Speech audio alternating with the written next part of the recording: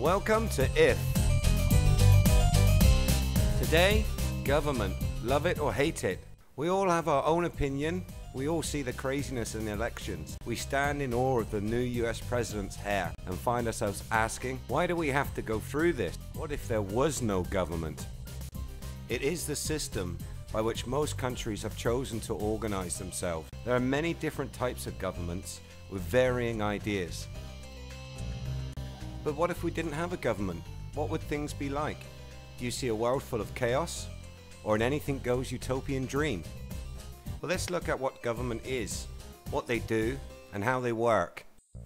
In general, government is a group of people, elected or unelected, who manage a country and are responsible for its citizens.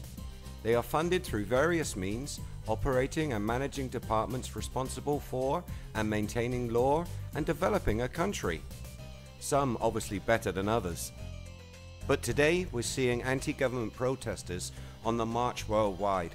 They're demanding governments change. So let's see, what if we didn't have governments? What could we expect? Would we revert to a primal existence, living in caves, relying on hunting for our next meal?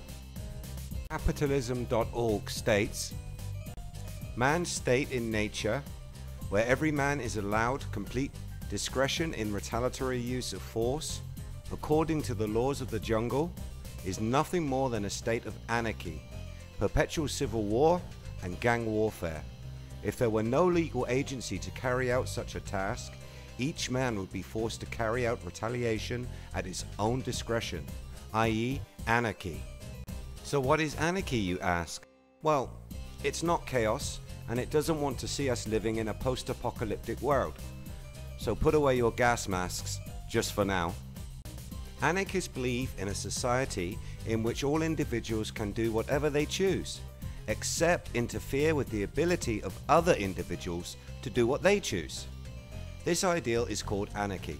It is from the Greek word anarchia, meaning absence of government. Well, that doesn't sound too bad. No need to grab that axe or dust off your studded leather just yet. Let's take a look at some places with no government. Tibet. Tibetans consider Tibet a country. The Dalai Lama and many other Tibetans live in exile. Tibet forms an autonomous Republic of China, but China still governs. Tibet declared its independence from China in 1913. China, however, has never recognized this, and an ongoing feud persists. So, not perfect. And then there's ungoverned Afghanistan. This war torn area is ruled by warlords and clans. They control their own areas in which they have absolute power. If you don't belong to a clan or serve under a warlord, you're at risk of losing everything.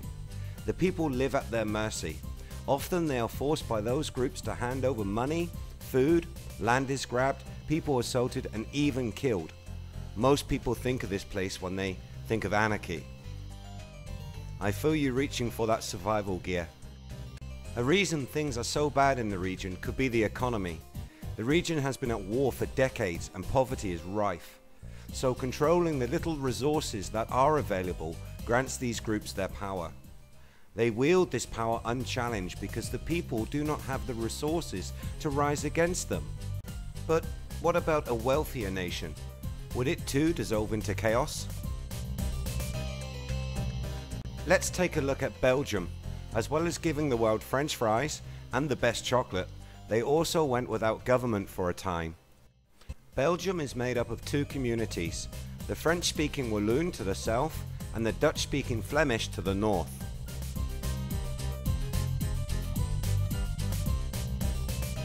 Like most European groups who speak different languages, they sometimes disagree. In 2011, these disagreements led to two whole years without a government. The Francophones and the Dutch set the world record of 541 days without a coalition government. So why didn't the country split in two? There were no Mad Max, leather-clad, buggy-driving gangs ruling the wasteland that was once Brussels. It's simple, because of money. The poorer group still wanted to have access to the Dutch tax dollars. But here's the kicker, They needed to have a caretaker government to keep things ticking over.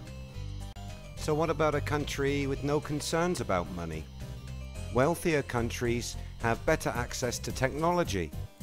These technologies could make it possible for us to govern ourselves. The internet has enabled instant communication and people are organizing. It's already begun. One example is the Republic of Lakota. The Lakotan people wish to secede from the United States. The new republic would encompass parts of several current states and be surrounded on all sides by America. There is a group who make part of a provisional government, but no government exists so far. It will be interesting to see what happens if a new country were formed within US borders. Cascadia is another proposed new country. It too would span parts of America, along with Canada and Alaska. It's a vision of environmental friendliness.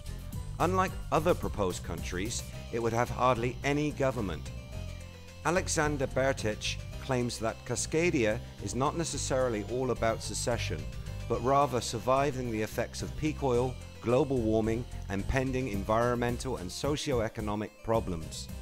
Maybe we won't have a choice. Environmental disasters affect us more and more daily. Will current forms of government still work? Whatever happens in the future, I think we would still need a group to enact our choices and our plans. We'd have to form these groups, pay them, and agree with their actions.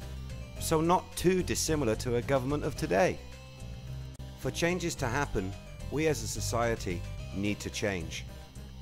We would need to become more generous, fairer in how we distribute wealth. We would need to take direct action if ever we saw poverty. We have to do more than dropping change into a beggar's cup. We would have to act on problems. We would need to be more responsible for ourselves and each other. Societies would need to adapt and change. Alternatives are being planned. People such as Zach Weinersmith, George Mason, Brian Ford, and John Burnheim all have proposed alternative ways to govern. But the choice is up to us. We should choose our path. We should choose the future of government. Maybe some of you have rushed off, started welding the mesh to the windows, dusted off your blue coveralls, and are heading down to Bunker 4 as we speak. If so, good luck. Or maybe you're happy with the way things are. Having no government is an interesting what if. I hope you enjoyed the video. I would love to know your thoughts. Please leave your comments below. If you can, give us a like or subscribe. Till next time.